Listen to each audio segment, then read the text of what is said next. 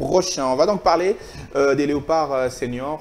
on s'est quitté sous une mauvaise note, une défaite en, Afrique, en, Afrique, du Sud, au Soudan, sur le score de 2 contre 1. L'RDC a donc vu Hector Cooper quitter les navires avec le conglomérat de son staff technique. Ils sont partis.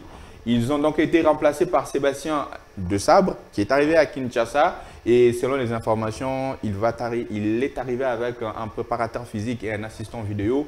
Il n'a pas d'assistant, il devra se trouver un assistant parmi les entraîneurs congolais. Et justement, la question qu'on va se poser, Cédric Mupataï, et également qu'on va essayer de répondre, quid de la composition du staff technique de Sébastien Desabre, mais surtout avec qui choisir quand on connaît le conglomérat, l'arsenal mhm. de bons entraîneurs qu'il y a sur le plan local, commençant par euh, euh, le plus emblématique de tous, par exemple, s'il faudrait parler aujourd'hui de Jean-Florent Ibengue, Panfini Miayo, Daoula Lupembe, euh, Bertin ou encore Otis Ngoma, avec qui ça vous pourrez être rallié pour essayer de relever justement l'affront, de relever la sélection nationale.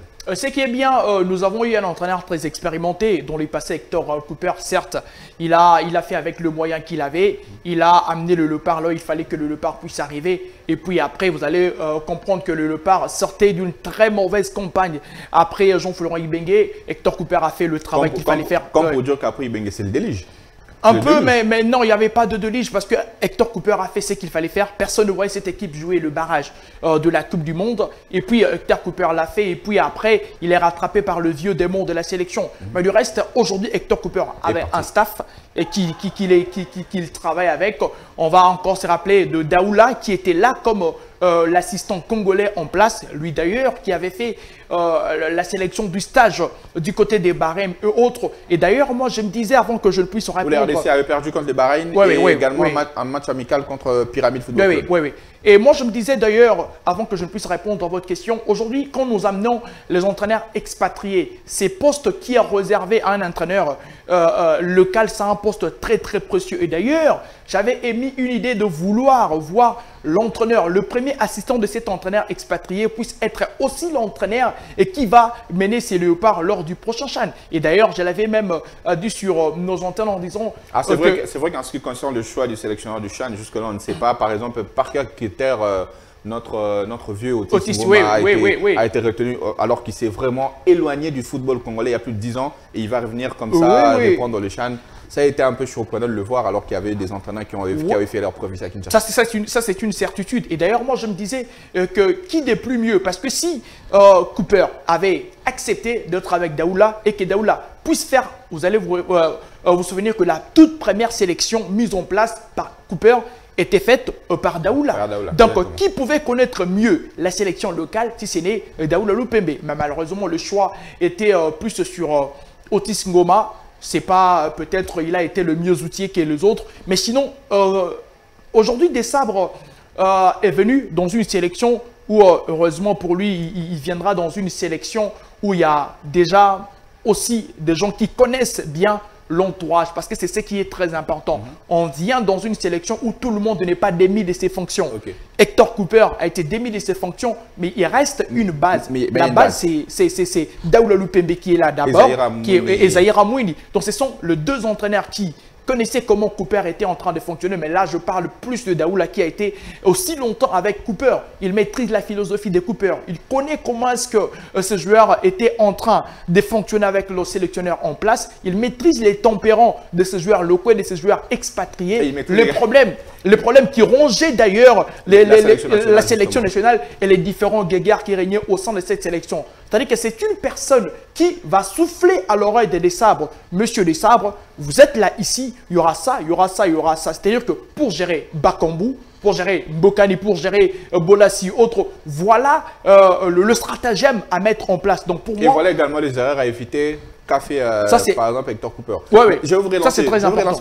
On va, essayer de, sortir deux ou trois entraîneurs parce que nous sommes malheureusement déjà à la fin de l'émission. On va revenir, je pense, probablement la semaine prochaine avec les matchs de Léopard à prime pour justement essayer de continuer de parler de nos sélections nationales. Mais là, s'il faudrait dégager, par exemple, de favoris, eh une liste de trois, on a un, homme comme Pamphile Mirayo, certes, il fait partie du staff Chan, mais il a montré de très bonnes choses avec le tout-puissant Mazembe. Il a également remporté une Coupe de la Confédération avec le corbeau du, du, du TP, du TP Mazembe et plusieurs championnats quand il était encore entraîneur du tout-puissant Mazembe.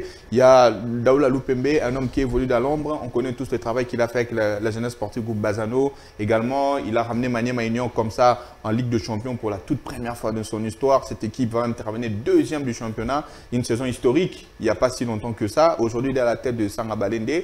Et s'il faudrait peut-être ajouter un troisième entraîneur euh, qui, euh, qui, sort, qui sortirait du lot comme ça, Otis Ngoma, qui aujourd'hui est entraîneur du, des Léopards à Prime. On, a, on va attendre de voir le résultat, ce que ça va donner.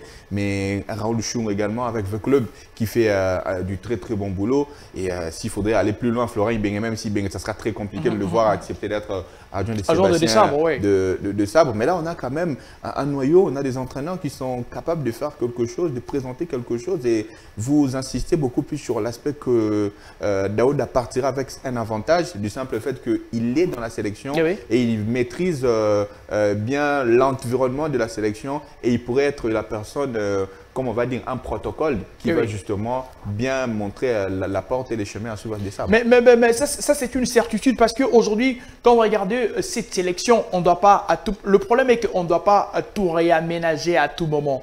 Aujourd'hui, Dessabre est là, mais Dessabre aura besoin de cette boussole pour lui démontrer en fait quel est le chemin à suivre. Et d'ailleurs, euh, par cela, par ricochet, bon, je dirais, le, par U23 vont, euh, vont, vont, jouer contre, je pense, l'Éthiopie dans le jour qui, qui, vont arriver. Si aujourd'hui, euh, Daoula n'est pas comme sélectionneur principal de Léopard Prime, pourquoi pas lui donner aussi cette sélection U23 parce que nous connaissons Daoula est très expérimenté en matière de recrutement et très expérimenté en détection, avec les équipes d'âge. Il peut chevaucher entre les deux, être adjoint des sabres et automatiquement il peut être l'œil de des sabres avec les équipes d'âge parce que j'oserais peut-être croire que la Coupe d'Afrique, on pourrait peut-être oublier. Mais si des sabres pourrait paraffer un contrat de 3 ans, c'est-à-dire qu'après, il doit constituer une sélection. Et qui pourrait mieux l'aider à avoir un œil très regardant sur le football de jeunes si c'est Daoula Lupembe qui, qui a la, maîtrise. Il a reconstruit la formation de, euh, de comment s'appelle encore le, club de Mbashi Bazano, avec un très bon recrutement, avec beaucoup de jeunes qui ont fait sorte. Était la Covid, cette équipe allait peut-être aller jouer une compétition africaine. Une vraie équipe, une équipe exceptionnelle. Donc moi, je pense qu'il peut être vraiment cet œil très importantissime que euh, Dessab aura besoin, mais du reste, on laisse le choix à, la fédération de voir qui pourrait euh, accompagner Dessab. Quoique je, je ne suis pas vraiment, euh, je ne suis pas subjugué du choix de, de, des sabres que je trouve un entraîneur moyen. Mais sinon, eh ben voilà, on verra quels seront les objectifs lui assignés. Merci beaucoup Cédric Mupataï. Merci également à vous justement les, invités, de, les téléspectateurs de Patura Télévision.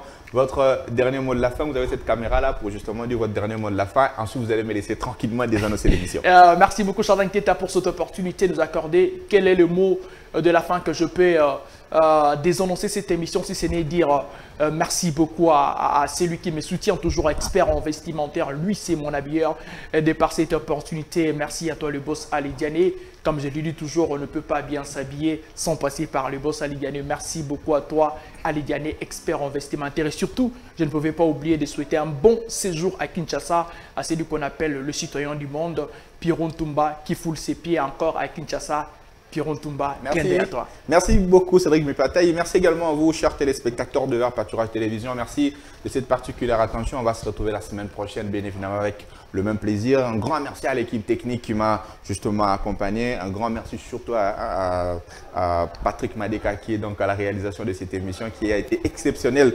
Aujourd'hui, on va dire comme ça un joyeux anniversaire à Déborah Mouzou qui fête son anniversaire aujourd'hui. Et puis, je vais suivre la lignée justement de Cédric Mupataï pour également souhaiter euh, comme ça une très très bonne journée, une très très bonne euh, fin d'après-midi. En tout cas, ça dépendra de l'heure à laquelle vous êtes en train de nous suivre. À vous, les téléspectateurs et les téléspectatrices de VAR Pâturage Télévision de cette émission. Sport en question. Je vous retrouve la semaine prochaine avec le même plaisir. Portez-vous bien.